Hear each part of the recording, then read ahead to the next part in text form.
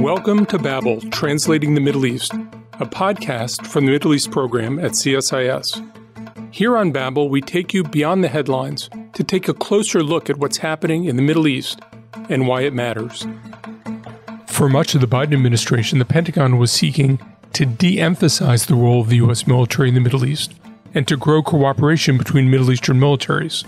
The Hamas attacks of October 7th and the subsequent Israeli assault on Gaza profoundly changed the U.S. military's focus in the Middle East, and it also changed perceptions of the U.S. role. To talk about the U.S. defense strategy in the Middle East before and after the conflict in Gaza, I speak with Dana Stroul, who left the Pentagon in December after three years as the building's senior Middle East expert. We talk about her experiences in the Pentagon, how the conflict has changed U.S. security partnerships with Arab states and what stayed the same, and what lessons Israel should take from U.S. military experiences in the region. Then I speak with Natasha Hall and Leah Hickert about the ways in which the war is a multidimensional policy problem for the United States and the timeline for U.S. government action. To translate some of what's happening in the Middle East, this is Babel.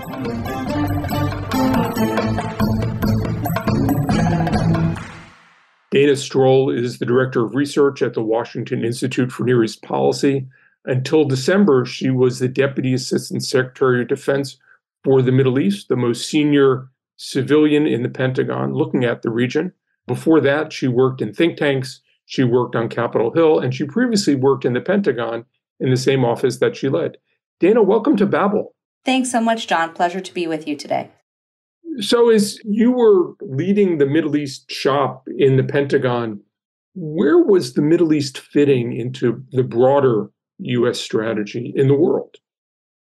So, I think we should go back to the beginning of the administration, the Biden administration's national security strategy and national defense strategy. It talks about China as the major strategic competitor the next threat that the national defense strategy identified was Russia.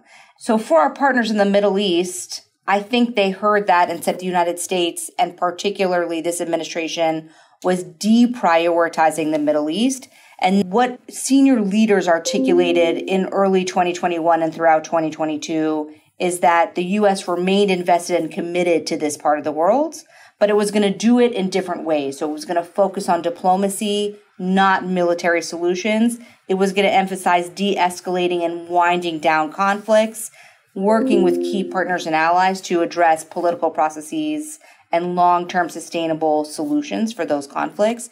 It was going to emphasize investing in humanitarian response for civilians in need in places like Yemen and Syria and elsewhere.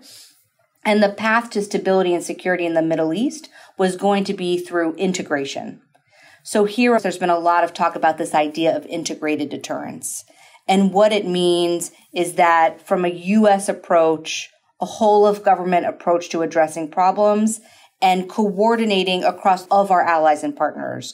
So combat credible investments in militaries, military equipment, military exercising, exchanges of information and training, but also coordinating economically, diplomatically in the information space, all of this together. And so Mike Tyson famously said, everybody has a plan until you get punched in the face. We had a plan, we were executing a plan, and then a lot of things changed. How did that feel in the Middle East shop where we had all these strategic ideas to not be as militarily involved. And then suddenly we were deeply militarily involved. First of all, I'll share one story. One of my bosses was asked in early 2022 how many meetings does the National Security Council have per week on a Middle East related issue? And the answer in 2022 is maybe there were one or two a month. Obviously, October 7th changed all of that. And then we were having meetings at the National Security Council on a near daily basis. And somebody like me, in charge of just the Middle East region and the Pentagon, was seeing Secretary Austin on a daily basis. And developments in the Middle East were absolutely top of the inbox for the chairman of the Joint Chiefs of Staff, for the National Security Advisor, for the Secretary of State. So, absolutely, best laid plans have changed. And I think what is lost on a lot of critics of how the administration approached the Middle East in the first and second years of the administration is that we actually demonstrated that our strategy is agile and flexible enough to respond to emerging crises and circumstances. So, yes, American leaders and officials here in Washington were focusing on other issues, but they have absolutely been able to shift focus, exercise those diplomatic muscles, increase defense posture in the Middle East, surge military equipment to support Israel, and prevent all out regional war. And to date, that is what happened. The U.S. invested a lot in trying to increase communication between partner militaries in the region, including with the Israelis, who are now part of CENTCOM. What kinds of things have you seen since October 7th that you thought reflected investments that the U.S. had made? What kinds of investments had you made that have to be paused because of the real outrage in the Arab world over Israel's conduct in this war? So I wouldn't call myself an optimist, but here is actually where I think there is silver lining. So let's go back to what I said earlier about integrated deterrence. Part of that is allies and partners making certain investments that benefit everyone's security as well as the broader security. So investing in kinds of equipment that can do shared air defense, what is one of the most pressing immediate security challenges of the Middle East? It's Iranian development of lethal one way attack drones. And everybody needs to be prepared for this. And it turns out the best way to be prepared is not to focus only on your borders, but to create a networked system for early warning, to share intelligence, and to expand your air picture. So, those are the kinds of things that the Department of Defense has been working on with our partners in the Middle East and Israel's in the Middle East. And certainly by sharing its technology, its intelligence, and the ways in which it detects threats to its population and its willingness to share that with partners, everyone's security can be enhanced. So that work was going on before October 7th. The other big initiative of the Department of Defense is not just in the integrated air and missile defense, but in building coalitions to address security threats. And here, a good example is what our Navy headquarters, NAVCENT, in the Middle East is doing. They have something called the Combined Maritime Forces. Dozens of nations, not just of the Middle East, but all over the world, come together.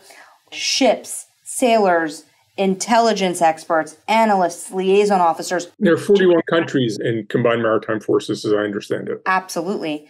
And what they're doing is addressing all the different threats and challenges at sea piracy, terrorism, illicit trafficking of people, illicit trafficking of weapons, Red Sea security, etc.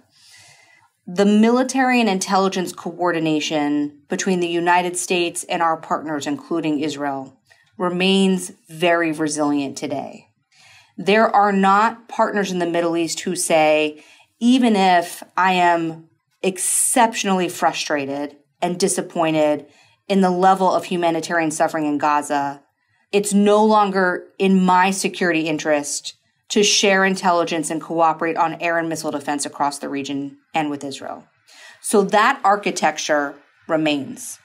And then if you look at examples like Operation Prosperity Guardian, which is a presence and monitoring mission in the Red Sea stood up by the United States with partners. And then you look at the separate coalition strikes to degrade Houthi capabilities and infrastructure and take weapons off the table so that the Houthis cannot threaten Red Sea maritime security. These are all examples where the U.S. convened and led a security architecture actually still working to this day. So, as you know, there are only I think 10 or 11 countries that have announced they're part of Prosperity Guardian. I spoke to the French and Egyptian embassies, and they said, well, we're part of this combined maritime forces, we're part of Task Force 153. We don't really understand why there needs to be Prosperity Guardian, and we're not a part of it. What's the point of having this separate coalition, especially when it seemed that we couldn't get other countries that are affected to join our coalition. They said the work is already ongoing as part of another thing. And by the way, we want to have nothing to do with any of your strikes. So, this is an example where what the United States brings to the table is a convening authority. And where I think the nomenclature has confused some people.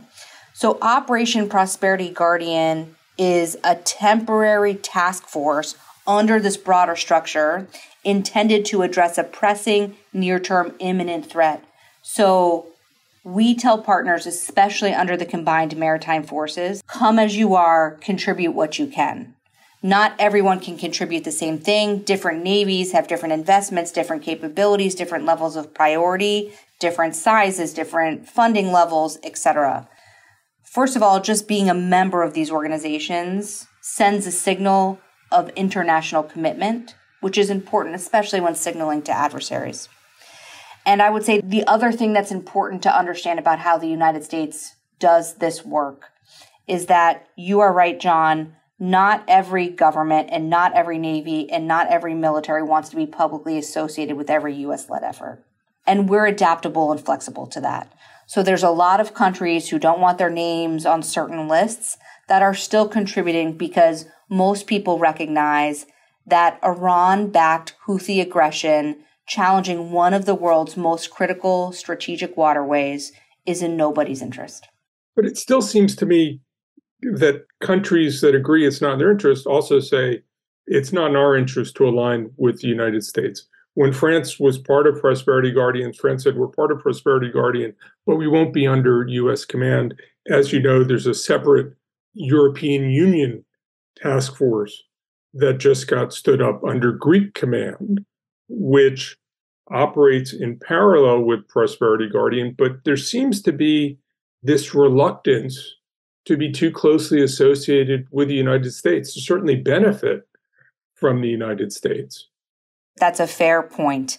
And clearly, one of the animating challenges at this moment in time is that our allies and partners perceive the United States to have supported Israel in what they view to be an unacceptable level of civilian casualties in Gaza and have contributed and affected this terrible humanitarian crisis in Gaza. And because the Houthis and other Iran backed groups wrap themselves in the mantle of defending the Palestinian cause, that has prompted some of our partners to seek to put public distance between themselves and their capitals and the United States. And that's something the United States is going to have to work through. On the other hand, the reality is that the Biden administration has been very focused on avenues to expand humanitarian aid delivery, to secure the release of hostages, and to get to a ceasefire. And this is again the silver lining for somebody who's rarely optimistic is that nobody in the Middle East or Europe is saying there's no role for the United States in addressing peace, security, and stability in the Middle East. So, if we want to talk about stabilizing Gaza, if we want to talk about increasing humanitarian aid to Gaza, just look at the work the U.S. military is doing now on standing up a maritime option on the airdrops. All the other countries and their airdrops into Gaza, they don't happen without the U.S. military. If it comes to confronting other forms of Iranian aggression, there's no one saying we can do this without the United States.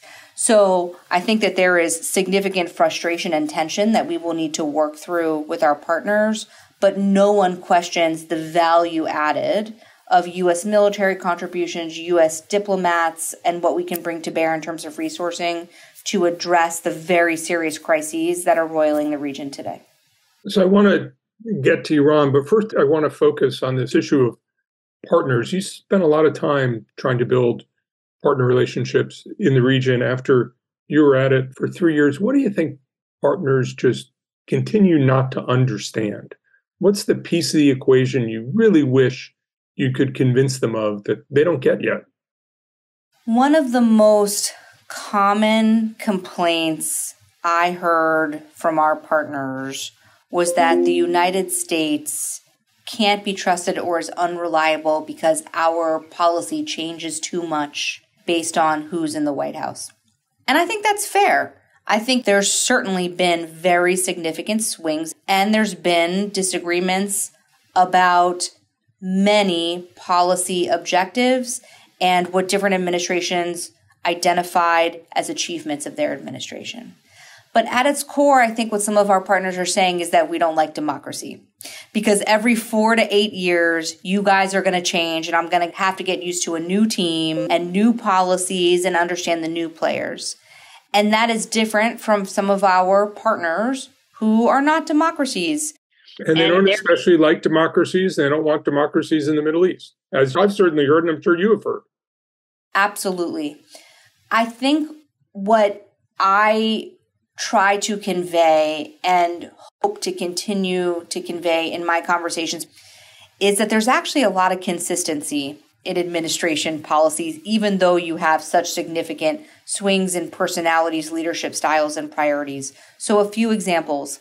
Every president has maintained the rather significant U.S. military presence in the Middle East. No president has shut down any of our very significant air bases in the Middle East. No president has stopped the preponderance of U.S. military and economic aid that goes to the Middle East. The top recipients globally are all in the Middle East, except in the last two years, Ukraine. Our best ambassadors, our most sophisticated military equipment, our resources and the investment in people, personnel, our young men and women, is going to the Middle East. And there actually haven't been considerable changes in that investment. And so, while I think a lot of leaders focus on the rhetoric either coming from our Congress or from the White House, the investments have actually remained relatively stable. And I think our partners are going to have to get used to the idea that we're going to change every four to eight years and that democracies and elected members of the US government and in the US Congress are responsive to American constituents and American voters, and they have views on how our precious resources and where our service members should go. And that's different than a non democratic system of government. I'm sure there were things that continued to puzzle you after being in this job what do you wish you understood about our partners? What are the mysteries that, with all the resources you had, did you just have a hard time wrapping your head around? So, there was a point in 2022 when I was worried that our partnerships in the Middle East were going to unravel. And it came down to what many in Washington saw as equivocating on Russia's invasion of Ukraine. So here in Washington, I think our cabinet level officials and people inside the administration and the US Congress were working to hold the line is that if you don't stop this kind of aggression in Europe, it will certainly embolden adversaries in other theaters that might think the world isn't going to muster the political will and the resources to defend in another theater if an adversary seeks to use force to remake borders. And clearly, I'm talking about China and Asia Pacific and about Iran in the Middle East.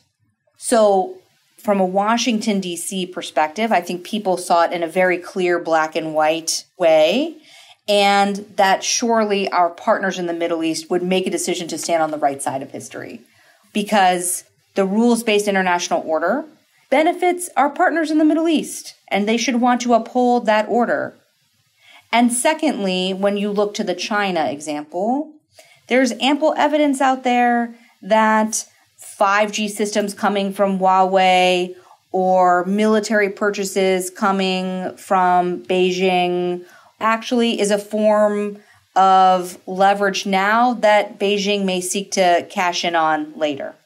And for our partners who care so much about their sovereignty, why wouldn't you take certain actions to insulate your security, your sovereignty, or the U.S.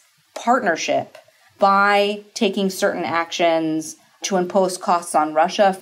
or to say to China, these are certain areas where we're not going to work with you because it threatens our partnership with the United States. So I think our partners hear that and say, this isn't a zero sum game. I'm not going to pick. And I actually think from a Washington perspective, we said we're not asking you to pick, but there are categories of activities where we are asking you to take a firm stance. And in many cases, our partners aren't taking that stance and they're pursuing what they believe to be their own interests in their own way. And I think we just have difference of views of what's in their security interest. And so I'll tie it all in a bow now. Russia is not a European problem. Russia is now continuing to target and kill Ukrainians and Ukrainian civilian infrastructure with weapons supplied from Iran. And the Russians are also turning to Pyongyang and the North Koreans for weapons. And we know that the Chinese are contemplating also supplying the Russians. So there's an emerging axis of Russian, Iranian, Chinese, North Korean cooperation and coordination that challenges the very nature of a world order that most of us have benefited from. I'm sure you got an earful. There's a perception that Israel is using American weapons to destroy Gazan infrastructure, to kill tens of thousands of Palestinians with, at best, indifference to civilian suffering. And, and certainly there are more contentious assessments of what the Israelis are doing with continued American support. And that when we talk about a rules based order, that there's profound hypocrisy in the US side for saying a rules based order applies to the way Russia conducts a war, but it doesn't apply to the way Israel conducts a war. I've certainly heard a lot of that. I'm sure you've heard even more. What I haven't heard is a persuasive rebuttal that the United States recognizes that tension and is actively moving to resolve it. So I think that that's how many of our partners see it. And I think that's a very convenient narrative about what's happening for our partners. So the point of US partnership is that we don't abandon our partners. Russia unprovoked decision to declare war and invade Ukraine. That's not what happened in Gaza and Israel. First, there was a vicious and unprecedented Hamas terror attack in Israel. Number two is that the US can walk and chew gum at the same time. So, yes, there are significant concerns here in Washington, and having sat in a lot of these meetings with the Biden administration officials, absolutely concerned about the humanitarian situation and the level of civilian casualties. But the way to address that is not to break a partnership or stop all military support to that partner. And frankly, most of our partners have experienced that same tension in Washington policy. So we could talk about the Saudi led coalition in Yemen. The United States never abandoned our partners who were seeking to restore the legitimate government in Yemen despite accusations that that's what happened. We also stood up a significant coalition in Iraq and Syria and exercised and articulated very serious concerns about the ways in which aspects of those campaigns were executed. But the United States doesn't just abandon a partner, and there is nuance in that approach. And the other part of what you're saying, I think, without question, there should be concern by our partners about the civilian casualties and the humanitarian toll. But what they don't say publicly and they're willing to talk about privately is that they want Hamas to be dismantled and that no military has confronted the nature of the operational challenge that the Israel Defense Forces have in Gaza. And I think privately, a lot of them recognize that in any of the campaigns that they undertook, they weren't dealing with a terrorist organization that had close to 20 years to dig a network of terror tunnels and completely embed itself in the civilian infrastructure and fabric of Gaza. So, as a final area of discussion, it seems to me that for much of your career in this space, how the US thinks about victory has probably changed. I think we started off in 2003. We thought we were going to have a clean victory in Iraq. We thought we were going to have a clean victory in Afghanistan. We've had not only a whole series of different postures in Iraq, we've been involved in Syria. And now we're looking at a close ally, Israel, which says we have to have victory because victory is necessary to our survival. As you think about how the US has changed the way it thinks about victory. Do you think we've come to any sort of conclusions or any of those relevant to the Gaza environment? I do. And the most clear articulation that comes to mind is Secretary Austin at the Reagan National Security Forum last year in December. And what he talked about is Israel's focus on tactical victory while losing the strategic war. And what he meant by that is we have had to reconceptualize what victory looks like. It is not clear, it's muddy, and it's messy. And frankly, in areas where we've had significant boots on the ground fighting terrorist forces like ISIS or like Al Qaeda, I think how the story ends is actually still being told now in a place like Iraq. And certainly in a place like Syria and Afghanistan is another one. But what we in the United States have learned is that there is no victory that's military only.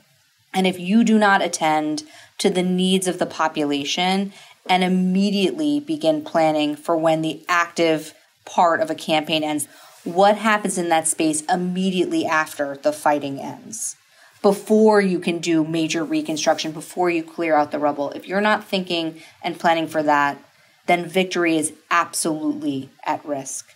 And so a, a lot of the conversation I think is being actively had with Israel now is what is militarily necessary or sufficient so that Hamas cannot return to have a governing stranglehold on Gaza but if you do not prioritize the needs of the civilians in Gaza, then Israel's security will never be assured either. And I think those are some tough lessons that we in the US military learned. So, an idea we hear from a lot of Israelis that we're not going to deal with the day after right now, we just want to focus on degrading Hamas, is actually not the way to achieving anything that will deliver security for Israel. What I hear more from Israelis is we've been in conflict with Palestinians for a century. And the Americans have an idea that there's a way to undermine Palestinian hostility.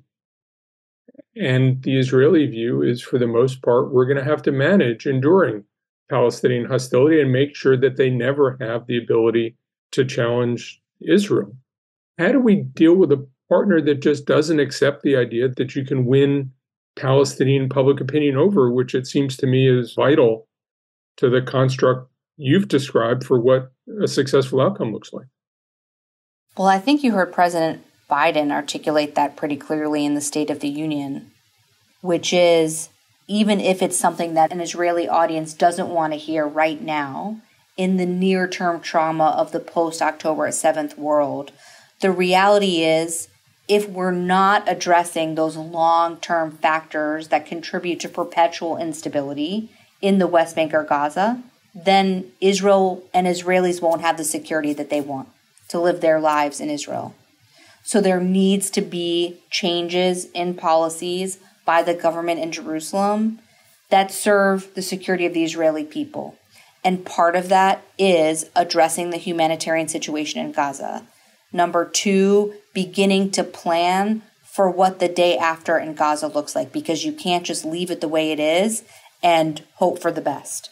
And on the West Bank side, there will need to be attention paid to addressing the economy, addressing the lack of hope of young Palestinians in the West Bank. Their economy is at a standstill. In no way is this a recipe for enduring stability. And I think this is clearly a conversation that is going to become sharper over the course of this year. What I've heard from the Israeli side is Americans assume that some problems have solutions and some problems just don't have solutions. You have to manage them as best you can. Is there a way you think that, as somebody who's had any number of conversations with Israeli government officials before and after October 7, is there a way to persuade Israelis that there are solutions to this and solutions will require taking risks now for a long term benefit, even though the Israeli view is that the risks they took after Oslo neither improved Israelis' lives nor Palestinians' lives? we need to acknowledge the trauma of October 7th and the idea that there would be immediate recognition of a Palestinian state absent reform, anti corruption, demilitarization, all of these issues.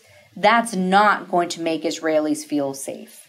So, first of all, I think we need to think through how we communicate and not dictate to Israel what our report card is for their security.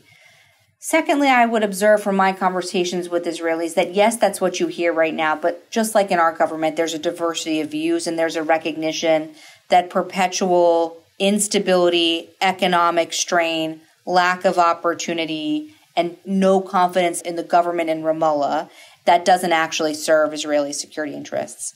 So I think what we need to think about over time is communicating what is good for Israel's security and that the status quo or returning to the status quo ante is not going to be good for Israel's security. By no means am I going to tell you that I think this is easy or quick or straightforward, but this has to be a conversation about Israeli security. And I think any intelligence or military analyst or expert who assesses conditions that are ripe for further violence would look at the situation in the West Bank or Gaza and say, this is not the making for long term stability. Dana Stroul, thank you very much for joining us on Babel. My pleasure.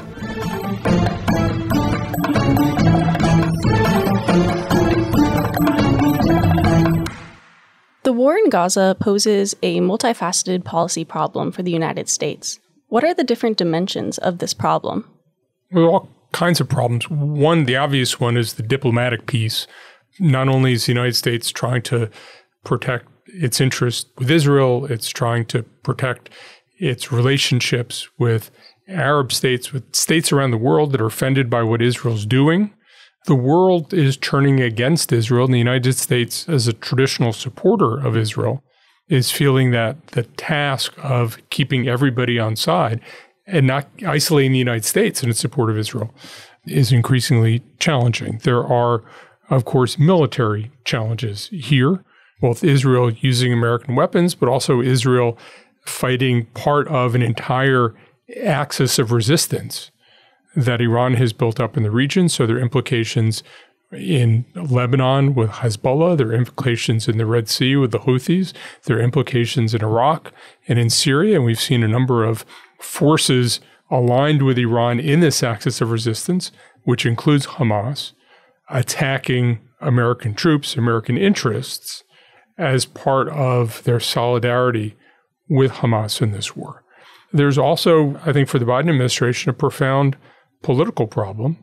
The Democratic Party is not at all united on how it sees this issue, and, and both with minority communities, people of color, and, and young people, progressives, there's real dismay at U.S. support for Israel. And, and, those are communities that if President Biden wants to win reelection in November, he's not only going to have to win their acquiescence, he's going to have to have support in those communities. And the president is trying to find a way to thread the needle between his instinct to support Israel, built over 50 years in American politics, built on mainstream U.S. And, and, democratic support for Israel, feeling more favorable to the Israelis than the Palestinians. That's been true for many decades, but also dealing with important constituencies that he needs in the Democratic Party who are horrified at Israeli actions and say the United States has an important role stopping them.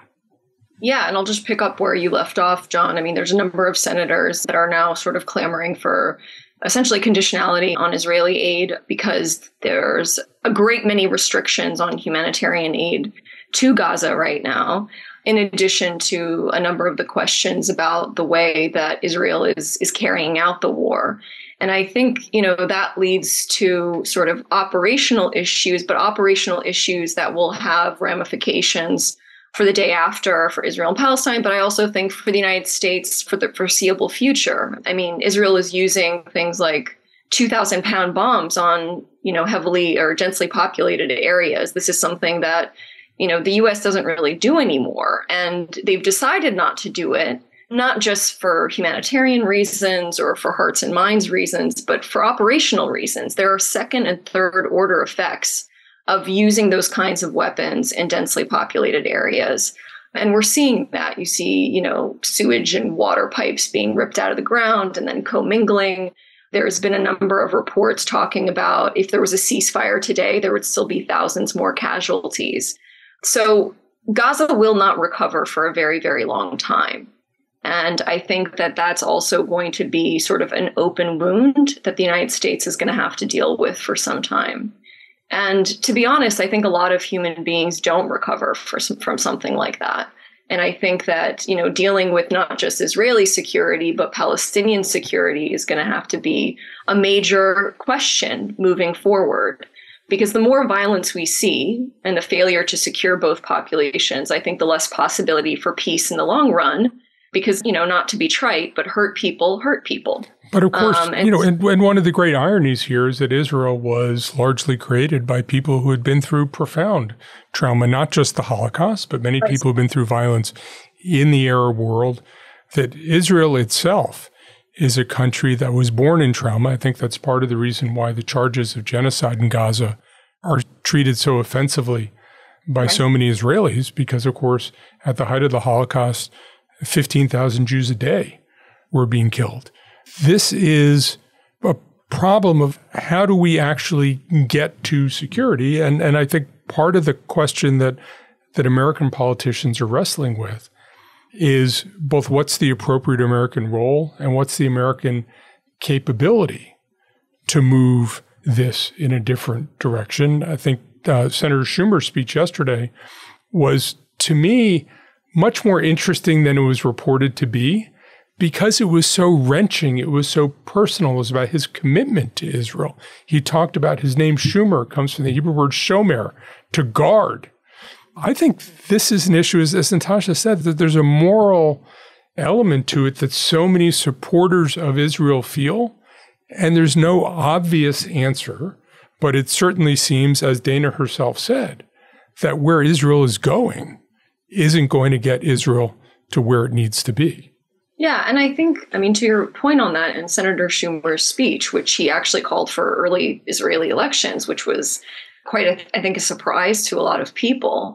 But I think the reality is in a situation like this, you really don't need leaders that are going to further exploit trauma and incite violence for their own political ends. I think that's why, you know, some conflicts just never end or they slip into back into conflict at the drop of the hat. I think for the safety of Israelis and Palestinians, and I mean, to be honest, the safety of Arab and Jewish people everywhere, you need a leader that's going to try to soothe that trauma and bring their population forward. You know, I mean, and, and that's going to be tough. You know, the whole world knows about a black American preacher named Martin Luther King and an African leader named Nelson Mandela because they were extraordinary, not because they were ordinary. But we do need that, I think, moving forward. Jon, you referenced something that Dana said during the interview, and Dana also said that after Iraq and Afghanistan, the U.S. military came to view victory in terms of winning over the population. Do we see any Middle Eastern militaries taking the same approach? I honestly don't. I think most Middle Eastern militaries I'm familiar with talk about asserting control. That's certainly what we've seen Syria do. You get the acquiescence of people or they leave.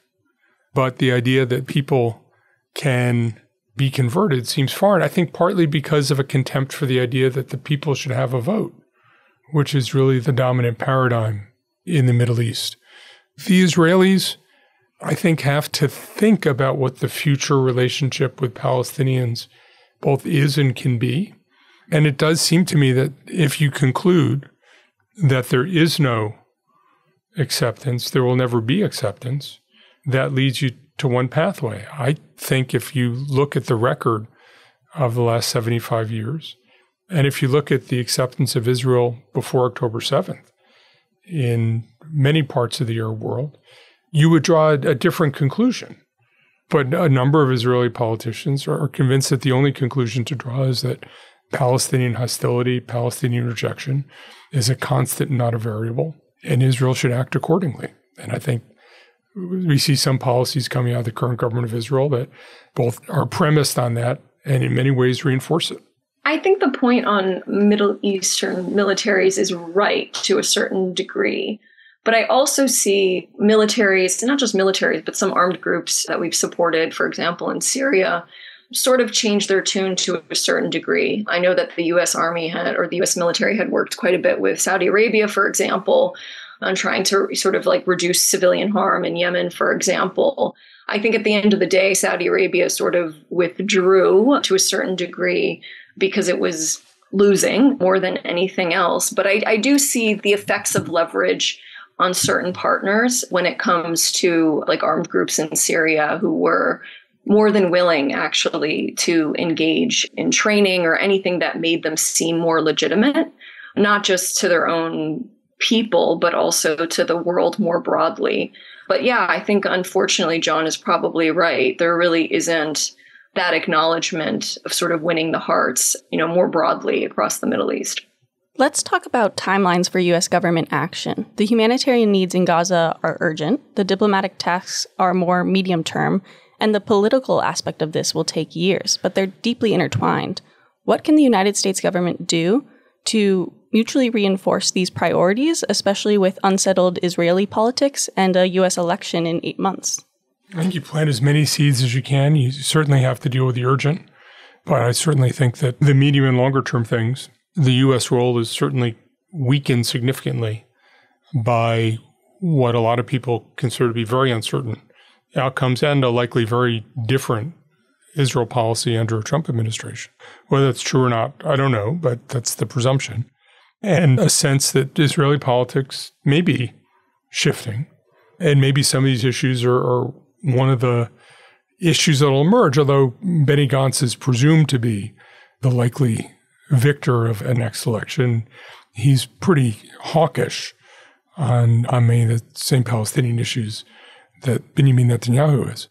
And this is, I think, the hardest piece of all of this is you have three relatively weak political leaders in Joe Biden with very uncertain election prospects, Benjamin Netanyahu with a potential end of his term in the coming months, and Mahmoud Abbas at 88 with very little legitimacy and very little capability.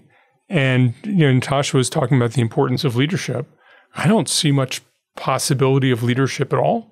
You could argue that it's moments like this create leaders, creates opportunities for leadership, certainly creates a need for leaders. But it's hard to see now exactly who those leaders would be, how they would come to power, or let alone how they would all work together to reach shared common goals. It could be that the common goals become further apart rather than closer together. Thanks for joining me, Jon and Natasha. Thanks for listening to Babel. If you enjoyed this episode, please subscribe to the podcast on iTunes or Spotify or wherever you listen to podcasts. You can find more analysis on this topic linked in the show notes on the CSIS website, and you can find us on Twitter at CSIS Mideast.